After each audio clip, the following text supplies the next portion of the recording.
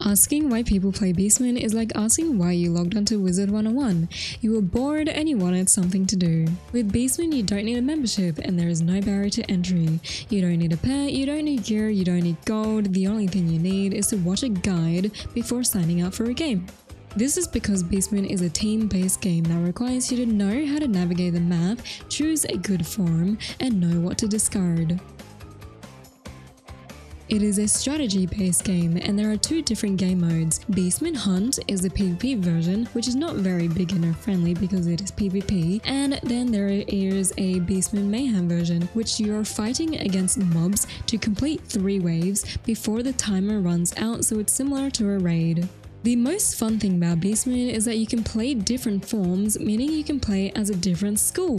So if you decide that maybe a fire pig is not for you, then you can switch to a storm croc in the middle of a game. This is why people play Beastmoon, it allows for so much variety without any barrier to entry. The only bad thing about Beastmoon is that it is a limited time event. It only comes out every two weeks and alternates between the Hunt and Mayhem version. This means if you only enjoy one version of Beastmoon, then it only comes out once a month for a duration of 7 days. This is why Beastmoon is not very popular, because you can't access it whenever you want to. You can only play it when the event is on. Now, if you are interested in learning Beastmoon, you notice that you can't actually access every single form. This is because you haven't unlocked them yet, and you can only have access to the free forms that are available that week. You can check what the free forms are by clicking on the pedestal and clicking on each form to see which school or form is available. It will say upgrade level, then you need to learn what cards it has and if that form is actually a good form to play because not all forms are created equal.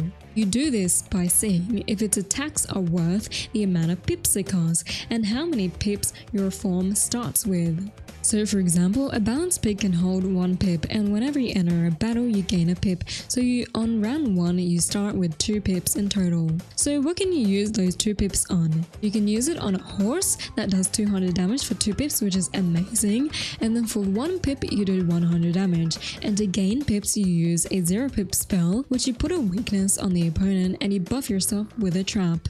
As you can see, this form is amazing if you play it properly by discarding the other cards that are very useless and you just spam the attacks. Compare this to a Myth Draconian, what can it do? It can hold 1 pip, so it starts with 2 pips when you enter the battle, but its 2 pip spell actually does 150 damage, and its 1 pip spell does 75 damage. Its 0 pip spell is donating pips or summoning a minion. Minions are practically useless in Beastmoon and donating a pip sounds good, but if you're only doing 150 damage, then there's no point donating a pip to you because you don't have high damage spells.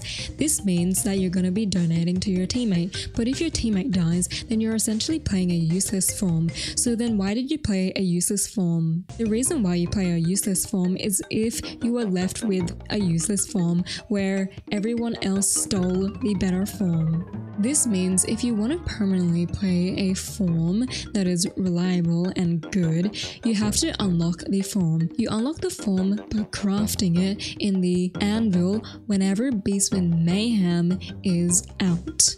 But the anvils only have certain forms. It doesn't give you all the forms. So you have to wait until the form that you wanted to craft comes out. And you can see that during the patch notes or the update notes on KingsIsle's website. To unlock the form, you need reagents. The first reagent is the idol, which you get from Beastmoon itself, depending on the map. So basically the Mirage map is a spirit map, so that will drop you the spirit school idols of random. And then there's a Celestia map that drops the elemental ones. And then the Avalon one drops any of these schools. For Beastmoon Hunt, you are rewarded regardless of if you lose or win, and those idols are basically random.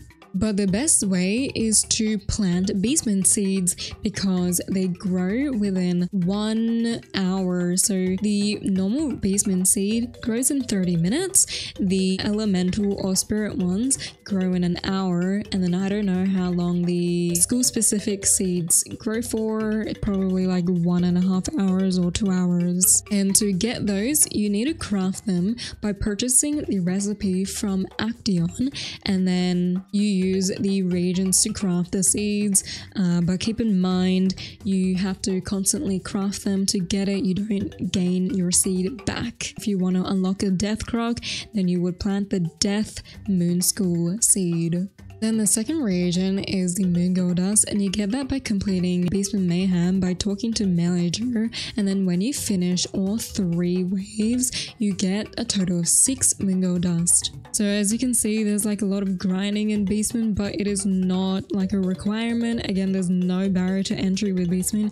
You can play without a membership, you can play the free forms, you don't need the best forms, you just play the event. So again, beastmoon is a team-based game where you have to communicate constantly and listen to your team if you're intrigued to learn more about Beastmoon because there's a lot to learn. You need to learn how to play it beforehand. I'll link my guides in the description.